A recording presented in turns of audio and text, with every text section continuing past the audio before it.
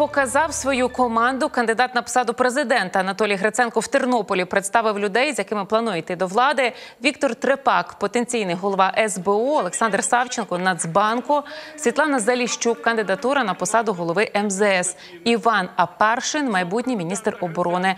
Кандидат на посаду президента наголосив, що він із командою працюватиме над тим, аби молодь не виїжджала за кордон, щоб бізнес мав комфортні умови, а в країні панувала справедливість. Досить монополістів, які диктують тарифи, ціни, нищать наше з вами життя і кидають у бідність. Нам потрібні швидкі і рішучі зміни.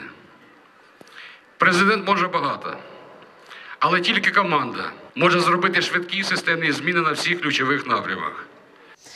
Проти масштабної фальсифікації виступив кандидат на пост президента України Олександр Вілкул. Він розкритикував підготовку до прийдешніх виборів. Зокрема, цілком припускає можливість підкупу виборців під час голосування.